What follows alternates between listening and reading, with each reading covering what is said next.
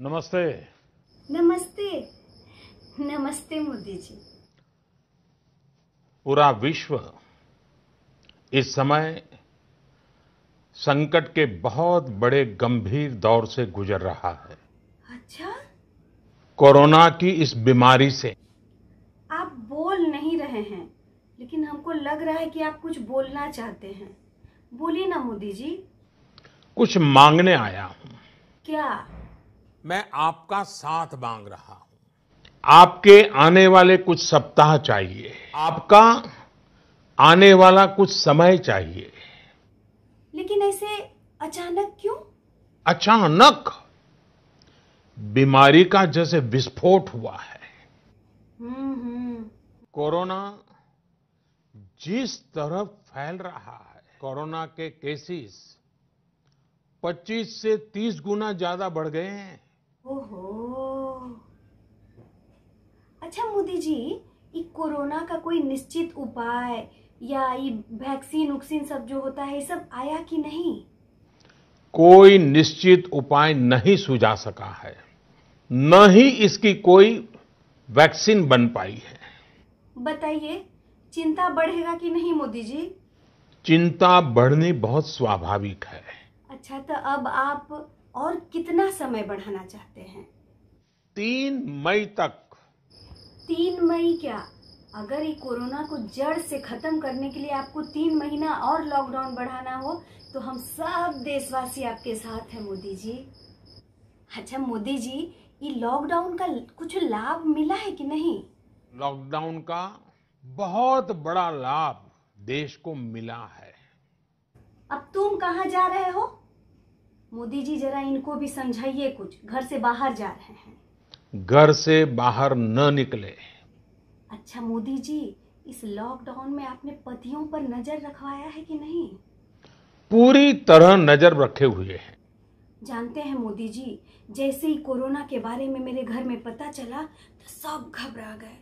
लेकिन आप जानबे करते हैं कि कैसे कैसे करके हमने ये स्थिति को संभाला है। क्या ये सामान्य बात है मोदी जी? सामान्य बात नहीं है। ये सब करने में हमको कितना दिक्कत आया है हम क्या बताएँ आपको मोदी जी? मैं जानता हूँ आपको कितनी दिक्कतें आई है। पता नहीं कोई क्यों मुझे इस घर में समझ में नहीं करता है। सब तो जैसे हमको घर की मुर्गी दाल बराबर समझ रखा है। ये मानना गलत है। मोदी जी अब आप ही बोल दीजिए मेरे घर में मेरी मुश्किलों के बारे में कुछ करें इन लोग। इनके जीवन में आई मुश्किल को कम करना है। अब आप ही कुछ बोल दीजिए मेरे तारीफ़ में तो ये लोग समझेंगे। कष्ट सहकर भी अपने देश को बचाया है हमारे इस भारतवर्ष को बचाया है। कुछ लोग लॉकडाउन का पालन नहीं कर रहे हैं। क्या ये सही है मोदी जी? सही नहीं है। तो उनको फिर से बता दीजिए कि इस कोरोना से बचने के लिए क्या क्या आवश्यक है। प्रत्येक भारतवासी का सजग रहना सतर्क रहना बहुत आवश्यक है।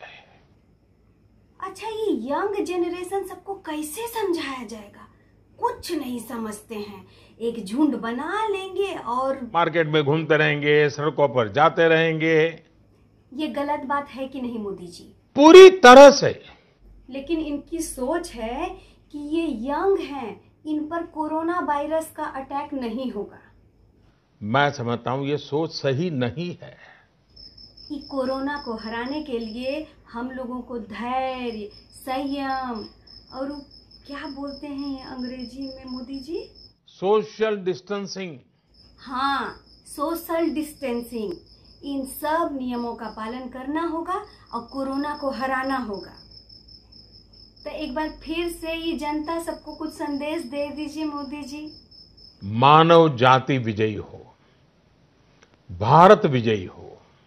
मैं सारे देशवासियों से हाथ जोड़ के नम्र निवेदन करती हूँ कि जैसा मोदी जी ने कहा वैसा उनकी बातों को मानिए, घर में रहिए, सुरक्षित रहिए, अनावश्यक बाहर जाने की कोई आवश्यकता नहीं है। घर में रहें, सुरक्षित रहें। मोदी जी, आप आए, इतनी अच्छी अच्छी बातें समझाई और मेरे साथ बहुत सारी बातें की। इसके लिए आपको बहुत बहुत धन्यवाद। आपका भी बहुत बहुत धन्यवाद।